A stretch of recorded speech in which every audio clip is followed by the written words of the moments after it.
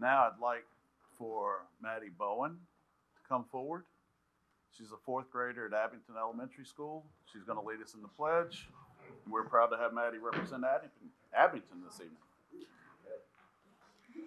I pledge allegiance to the flag of the United States of America and to the republic for which it stands, one nation, under God, indivisible, with liberty and justice for all.